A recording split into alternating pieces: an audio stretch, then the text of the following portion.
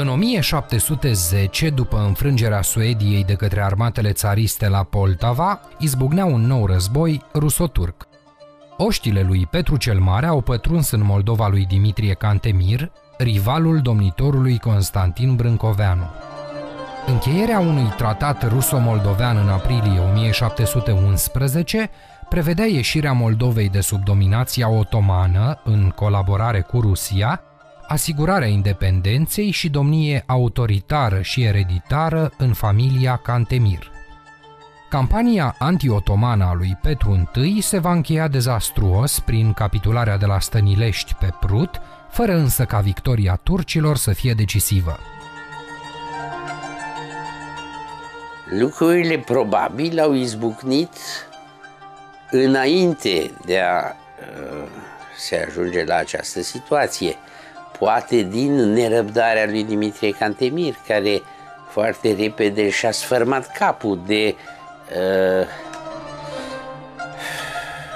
această nepregătire și de zidul pe care îl reprezentau uh, împotrivirea turcilor.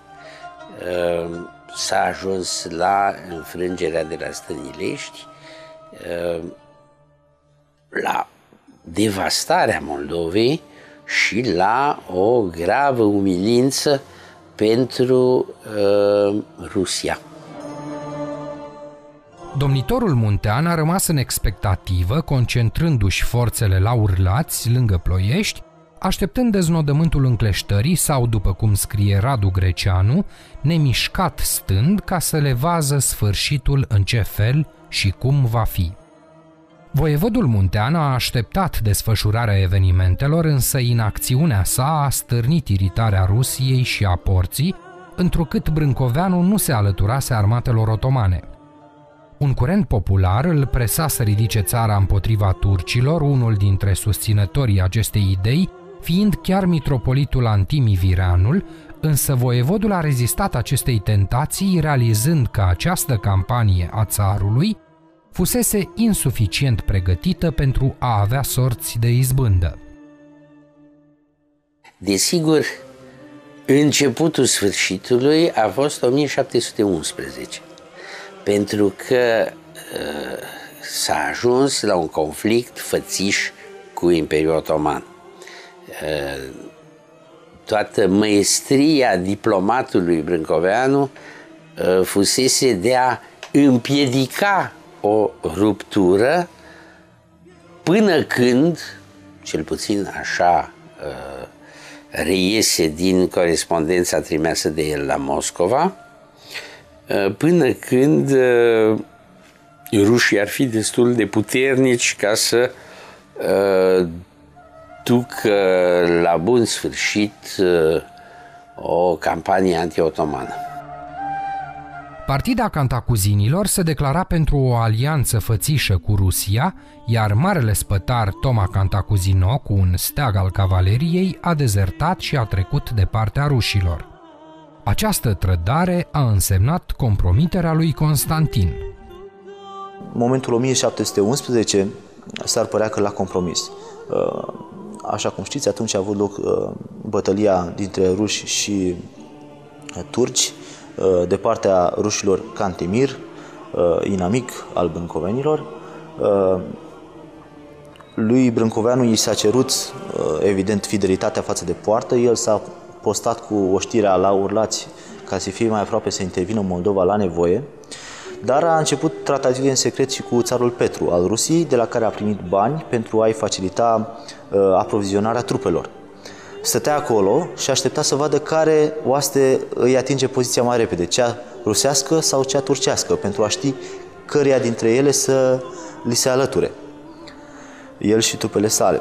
Uh, au ajuns mai devreme turcii, ca atare uh, domnitorul muntean i-a returnat banii țarului, și l-a lipsit de ajutorul promis și astfel a ajutat practic victoria turcilor la momentul respectiv. Însă ezitarea sa nu a, răs- a rămas nerăsplătită, pentru a spune astfel, de către poartă care i-a copt, pentru că ăsta e, e termenul folosit, sfârșitul. Forțele ruso-moldovene au fost încercuite de oștile otomane conduse de marele vizir Mehmed Baltagi Pasha, iar țarul Petru I a fost constrâns să semneze pacea de la Vadul Hușilor la 22 iulie 1711. Deși domnul făcea eforturi să-i încredințeze pe turci de loialitatea sa, poarta nu mai putea tolera politica sa ambiguă și negocierile cu puterile creștine. Pârile împotriva Domnului s-au înmulțit și intrigile la poartă ale cantacuzinilor i-au pecetluit soarta. Alții în jurul lui au avut interesul să stârnească bănuierile turcilor și să îl pârască la poartă. Se vorbește mereu de cantacuzini. S-ar putea să fi fost și alții. Uh, familii ca Știrbei, Dudescu, uh, care avuseseră de suferit din partea lui Brâncoveanu, care fuseseră contrariate în ambițiile lor sau mai ales în interesele lor materiale. Uh, Mie mi se pare clar că uh, acolo se găsește uh, partea cea mai mare de vină în uh, denunțurile care au fost trimise la poartă. Acuzat de trădare, învinuit că întreținea corespondență secretă cu puterile creștine ostile Imperiului Otoman, cu împăratul Austriei, cu Moscova, cu Polonia și cu Republica Veneției, cărora procura știri privitoare la turci și că spoliase țara prin grele asupriri și impozite, domnul a fost mazilit. De altfel, însuși contextul politic internațional îi era nefavorabil. Dar denunțuri trebuie să fi fost tot timpul. De ce tocmai acum ele sunt ascultate? S-a schimbat conducerea Imperiului Otoman. A venit un vizir nou, Gin Ali Pasha, care era un fanatic, aproape un dement, în orice caz înverșunat în hotărârea lui de a uh, stârpi uh, orice trădare în jurul uh, politicii otomane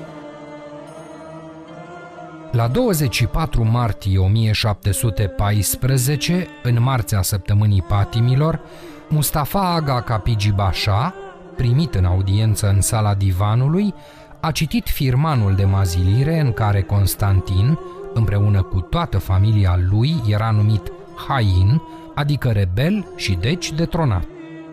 Potrivit fedvalei prin care șeihul islam Imam Mahmud Efendi legitima porunca sultanului Ahmed al III-lea de mazilire și uciderea voievodului muntean, cel mai important cap de acuzare era încălcarea alianței și legământului și înțelegerii cu sultanul, prin încheierea de alianță cu necredincioșii care sunt dușmani ai religiei și ai statului. În seara Vinerei Mari, domnul și familia sa au pornit sub escortă spre Istanbul, unde urma să se execute sentința de condamnare la moarte.